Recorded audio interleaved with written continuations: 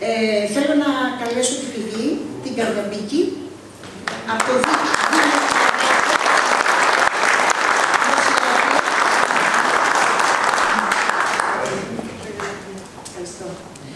Ε, το Γιάννη το Λαμπράκη, από το Δήμο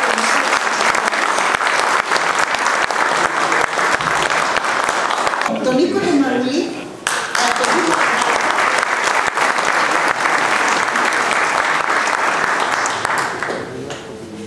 Την Ειρήνη την Τρίβα,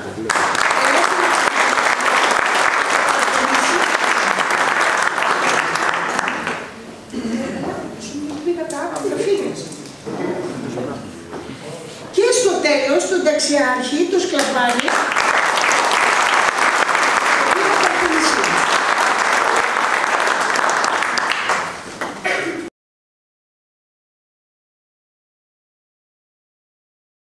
Δεν είναι εύκολη η διαδικασία.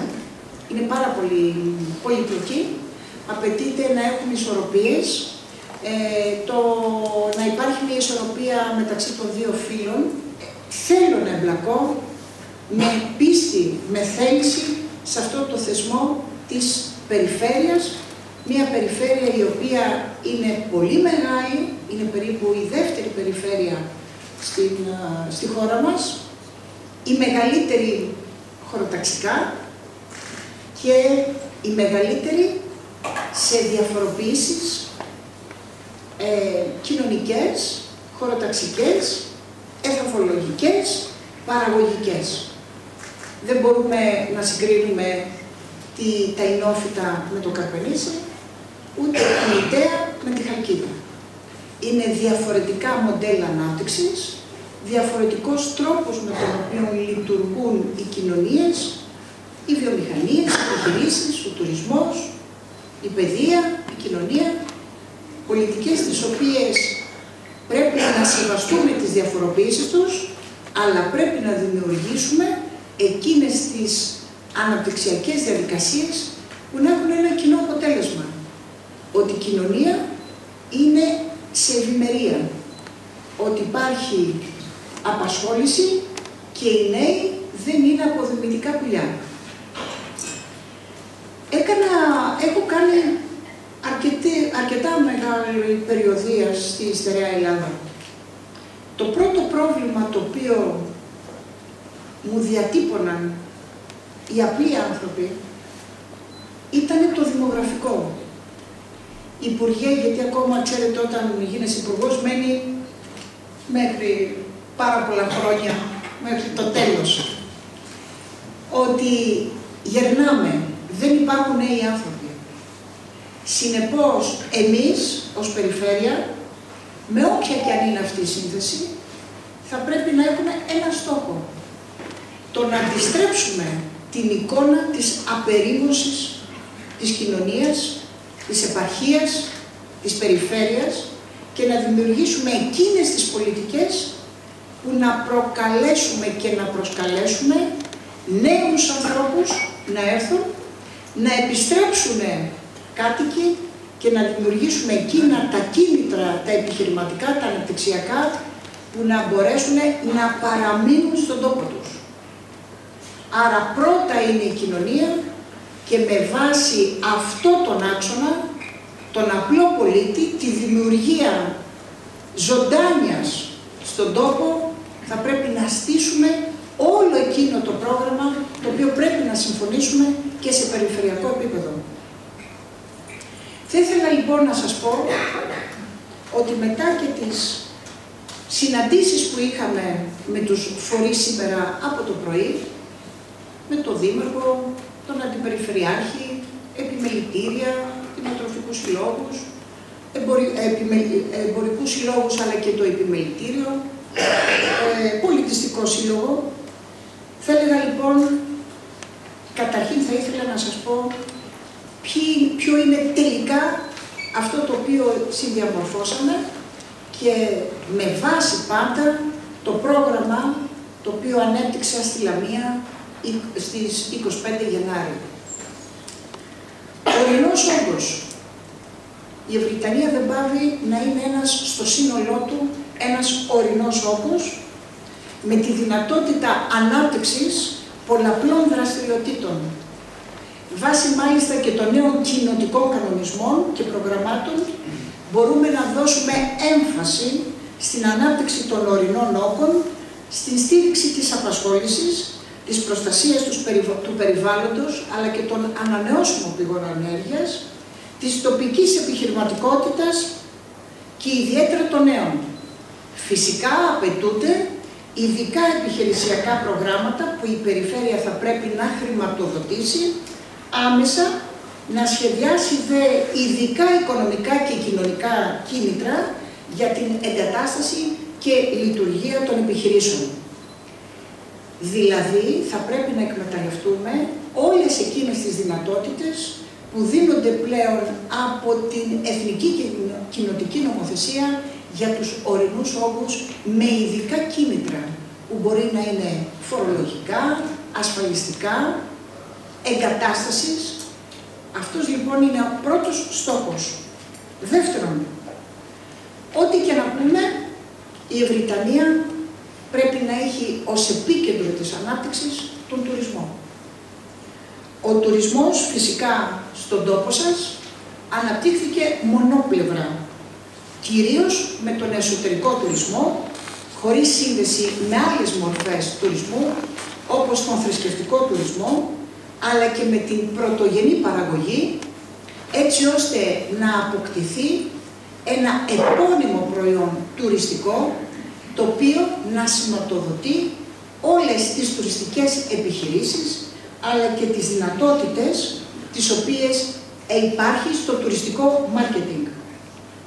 Όπως ένα τουριστικό μάρκετινγκ το οποίο πρέπει να προσεγγίσει και να προσεγγίσει εξω, τουρισμό εξωτερικού, θεματικό, κοινωνικό τουρισμό, με οργάνωση και διαπεριφερειακές συνεργασίες, στηριζόμενοι πάντα στη γνώση των επαγγελματικών φορέων του κλάδου.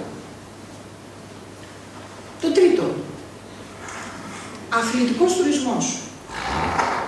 Με βάση μάλιστα το νέο νομοθετικό πλαίσιο, είναι σκόπιμο να οργανωθεί και από τους τοπικούς φορείς η αθλητική ταυτότητα στο νομό, εφόσον μάλιστα υπάρχει και το μεγάλο έργο του προπονητικού κέντρου, η διοκτησία του οποίου είναι, θα έλεγα κατά τη γνώμη μου, αρκετά προβληματική και θα πρέπει να σκεφτούμε το κατά πόσο πρέπει να περάσει ένα μέρος της ιδιοκτησίας στην ίδια την περιφέρεια ώστε η διαχείρισή του να είναι πιο ευέλικτη και ουσιαστική.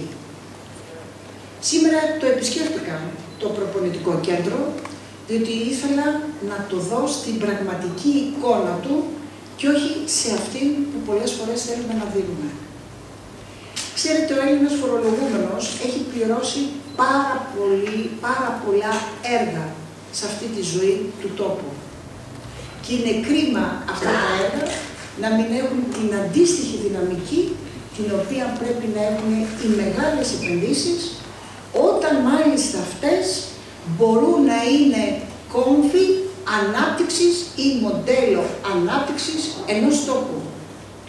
Διότι ένας αθλητικός, ένα, ένα, ένας, ένας θεματικός τουρισμός, όπως ο αθλητικός τουρισμός, με αυτό το κέντρο, αλλά και το χιονοδρομικό κέντρο που είναι μια άλλη ιστορία, την οποία θα πούμε, μπορεί να αποτελέσει μια ειδική μορφή ανάπτυξης για τον τόπο, όπου δεν απέχει πολύ από τις προτεραιότητες, τις αναπτυξιακές που πρέπει να έχει μια περιφέρεια, αλλά και τις χρηματοδοτικές ικανότητες διαμέσου του, δημοσιο... του προγράμματος δημοσίων επενδύσεων, αλλά και των άλλων επενδυτικών προγραμμάτων.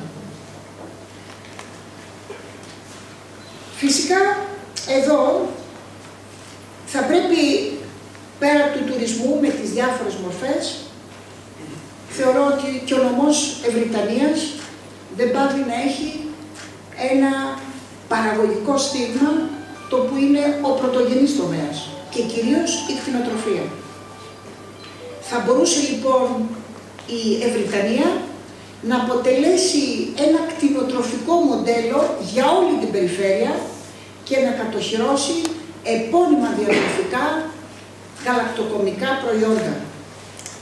Βάσει του προγράμματος που σας είπα, όπου ανέπτυξε και στην Λαμία, προτείνουμε στα πλαίσια της αναθεώρησης της κοινή αγροτικής πολιτικής και του τρόπου λειτουργίας του ΕΛΓΑ να προγραμματιστεί ένα μέτρο κάλυψης για την απώλεια εισοδήματος και των κτηνοτρόφων από φυσικές καταστροφές, κάλυψη η οποία δεν γίνεται μέχρι τώρα από, τις ισχύουσα, από την ισχύουσα νομοθεσία.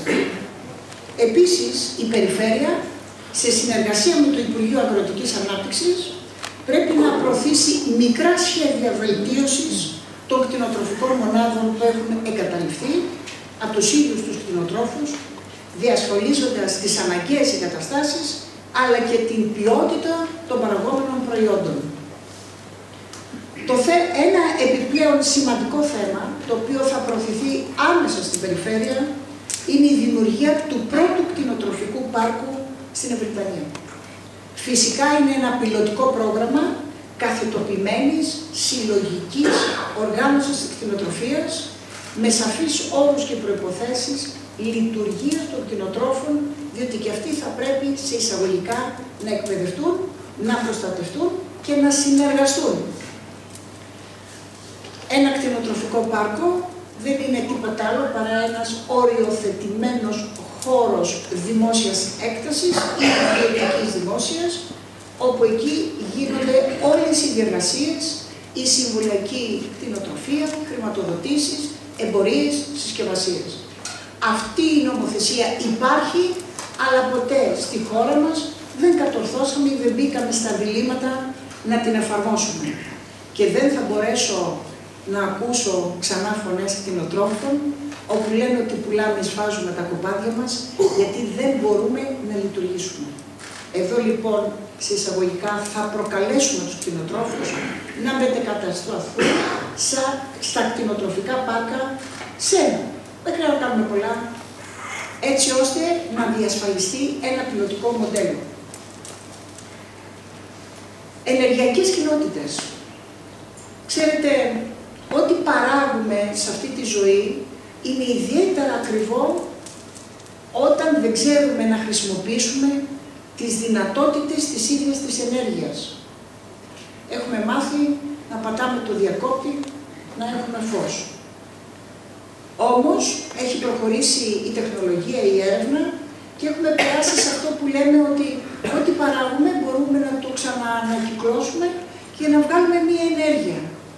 Δυστυχώς, οι Δήμοι στη Στερά Ελλάδα και η Περιφέρεια δεν έχουν κάνει κανένα πρόγραμμα ενεργειακών κοινοτήτων, δηλαδή να χρησιμοποιήσουν άλλες μορφές, βιομάζα, άπε, για να μειώσουν το κόστος της παραγωγής τόσο σε, μικρά δημόσια κτίρια, όσο και στη λειτουργία της αγροτικής παραγωγής ή των ΤΟΕΒ όπου υπάρχουν. Έτσι λοιπόν η πρώτη μας κίνηση, η πρώτη μας διαργασία είναι να μπούμε στις ενεργειακές κοινότητες.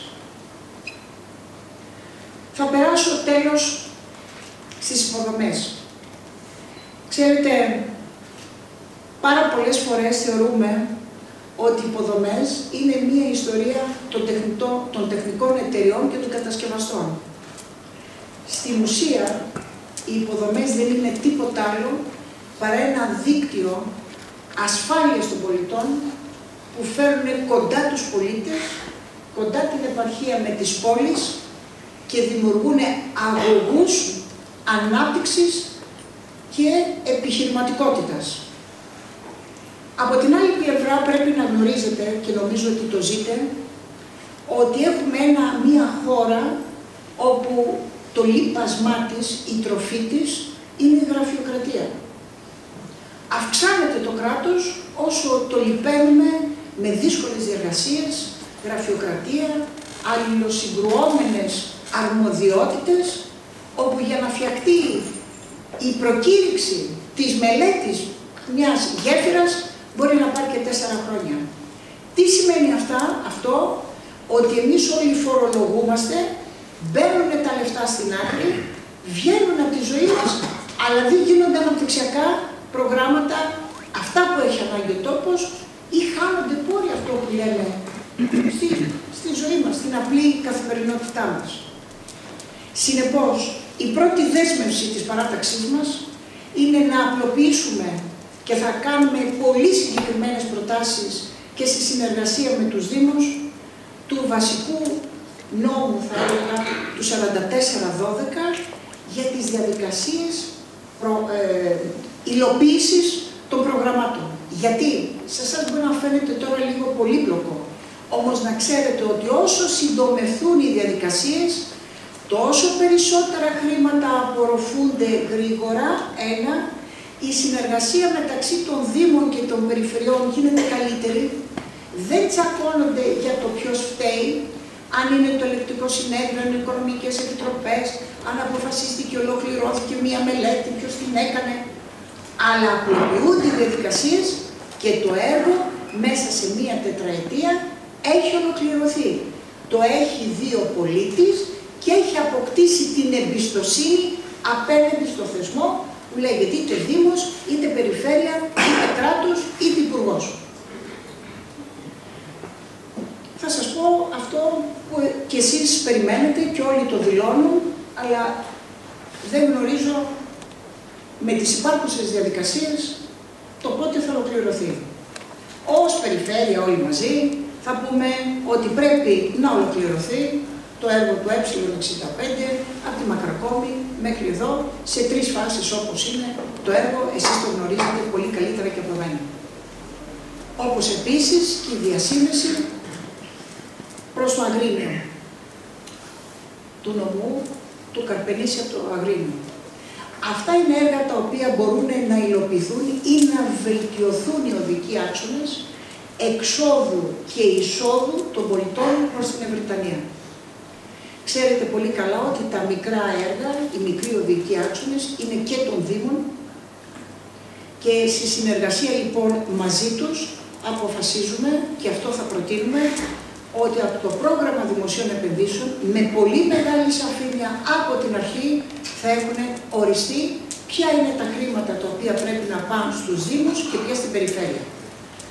Φυσικά, εδώ στην, στο νομό σας, τουλάχιστον από τα στοιχεία τα οποία έχουμε εμείς και ε, ελπίζω να μην είναι έτσι όπως παρουσιάζονται, ότι έχουμε από 29 έργα ενταγμένα, χρηματοδοτούμενα από το Περιφερειακό Ταμείο, ύψους 12,25 εκατομμύρια ευρώ, που δεν έχουν προχωρήσει και έχει δημο, δημοκρατηθεί μόνο ένα έργο οδικού άξονα.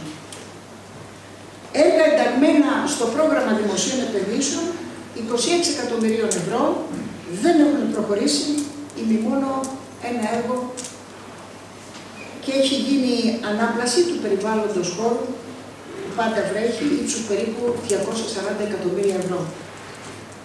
Επίσης η επένδυση ύψους 2,7 εκατομμύρια ευρώ και η λειτουργία του χιονοδρομικού κέντρου καθυστερεί ενώ βρίσκεται σε εξέταση στο ελεκτικό συνέδριο η διαδρομή του και το ιδιοκτησιακό καθεστώς, θέμα το οποίο έχει τραυματίσει τη συνολική αναπτυξιακή πορεία του τόπου αλλά και του ρόλου της ίδιας της περιφέρειας. Φυσικά εδώ όλοι θα ξέρετε και για την εξέλιξη και τη λειτουργία της Ευρυτανίας, της αναπτυξιακής Ευρυτανίας ΑΕ, καθώς και οι λόγοι καθυστέρησης και μπλοκής της αποκεντρωμένης διοίκησης. Φυσικά ο ρόλος των αναπτυξιακών εταιριών την προηγούμενη δεκαετία ήταν σημαντικός και μάλιστα για τη διαχείριση προγραμμάτων αγροτικής ανάπτυξης, Λίτερ, ΟΠΑΚ, ε, τα οποία δώσανε πραγματικά μία πνοή στην περιφέρεια. Αλλά η σημερινή τους διαχείριση δεν ανταποκρίνεται στις σημερινές ανάγκες των επενδυτικών και αναπτυξιακών αναγκών και προγραμμάτων.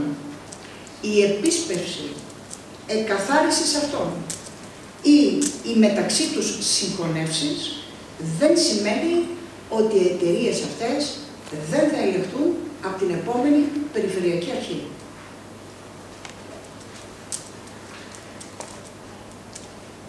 Ένα θέμα το οποίο θα θέσουμε επίσης ως προτεραιότητα, γιατί ξέρετε ότι, όπως σας είπα, το να φτιάξεις υποδομές, δρόμους, γεφύρια, σύραγγες, περνάει μεγάλο χρονικό διάστημα λόγω αυτής της διαδικασίας, την οποία σας προανέφερα. Εκείνο που έχει πλέον ανάγκη η περιφέρεια και όλες οι περιφέρειες είναι να ασφαλίζουν και να συντηρούν τις υποδομές τους. Και οι υποδομές είναι ακόμα και τα σχολεία, τα οποία έχουν χρηματοδοτηθεί από δημόσιο χρήμα. Η περιφέρεια λοιπόν, μετά από πρότασή μας, θα είναι μεγάλο κονδύλι συντήρησης των υποδομών, ένα λοιπόν μεγάλο κονδύλι από αυτό το οποίο διαχειρίζεται η περιφέρεια, πρέπει να πάει στη συντήρηση υποδομών με μία τεχνογνωσία την οποία δεν χρειάζεται τώρα σε αυτή εδώ σήμερα να σας την αναφέρουμε, θα την αναλύσουμε σε ειδική μερίδα. Αγαπητοί φίλοι, θα ήθελα να κλείσω με το εξής. Ζούμε για τις επόμενες γενιές. Ζούμε βασικά για τους νέους. Ζούμε για την δραστηριοποίηση των νέων. Διότι η μεγάλη μας αγωνία όλων των πολιτικών, και εννοώ όχι οι πολιτικούς μόνο τους βουλευτές, αλλά με αυτούς που ασχολούνται με τον τόπο τους, γιατί αυτοί κάνουν πολιτική, μικρή, μεγάλη, είναι να μπορέσουμε να κινητοποιήσουμε, να ενεργοποιήσουμε τους συμπολίτες μας, όπου βρίσκονται λόγω της οικονομικής, κοινωνικής κατάστασης, αλλά και της απαξίωσης του πολιτικού συστήματος και του πολιτικού κόσμου, βρίσκονται σε απραξία και όχι σε εφευρία. Ένας λοιπόν λόγος για εμάς είναι το πώς θα κινητοποιήσουμε χωρίς να πολιτικοποιήσουμε τις πράξεις μας τους νέους ανθρώπους. Γι' αυτό λοιπόν προτείνουμε και δεν νομίζω ότι μπορεί να απορριφθεί από ένα Περιφερειακό Συμβούλιο αυτό, ένα μόνιμο δημιουργικό φεστιβάλ νεολαίας, το οποίο θα γίνεται εκ περιτροπής δύο φορές το χρόνο σε κάθε νομό. Θα πρέπει λοιπόν να διασφαλίσουμε τις αναγκαίες εγκαταστάσεις, υποδομές, εξοπλισμό σε ένα οργανωμένο χώρο όπου θα διοργανώνονται πολιτιστικά φεστιβάλ οργανωμένα αλλά με, από την, υπό την αιγίδα του, της περιφέρειας. Στο φεστιβάλ θα συμμετέχουν νέοι και νέες, όχι μόνο από την περιφέρεια, αλλά από όλη την Ελλάδα, θα λαμβάνουν μέρος αθλητικές και πολιτιστικές δραστηριότητες, μουσικές εκδηλώσεις, θεατρικές, ενώ το Φεστιβάλ Νεολαίας μπορεί να αποτελέσει και το εφαλτήριο για την ενεργοποίηση των νέων και την προετοιμασία τους για την ενήλικη ζωή τους με την παροχή συμβουλευτικών υπηρεσιών σε θέματα επαγγελματικού προσανατολισμού, αναζήτησης εργασίας και ενεργού συμμετοχής στην κοινωνική ζωή. Γι' αυτό λοιπόν το λόγο εκτιμώ ότι το πρώτο φεστιβάλ το οποίο πρέπει να γίνει είναι στο Πολύκεντρο, εδώ στο αθλητικό Πολύκεντρο του Καρπενησίου. Και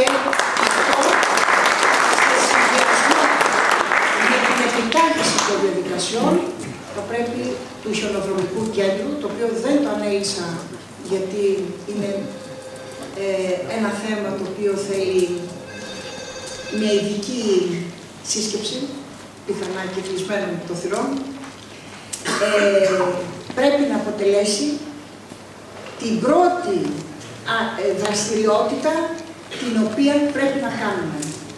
Αυτό λοιπόν το φεστιβάλ οι πρώτες κινήσεις μας, οι πρώτες χρηματοδοτήσεις είναι να διαμορφώσουμε όσο μπορούμε αυτό το χώρο όπου θα κληθεί να αποτελέσει τον πυρήνα συγκέντρωσης της νεολαίας με ό,τι δυνάμεις έχουμε της περιφέρειας και της χώρας μας. Το Καρπενήσι, την Ευρυτανία, πρέπει να τη φέρουμε στο κέντρο της ζωντάνιας, του πολιτισμού και της συνένωσης όλων των πολιτισμιακών δραστηριοτήτων αυτής της περιφέρειας που μας ενώνει και την αγαπάμε. Σας ευχαριστώ πάρα πολύ.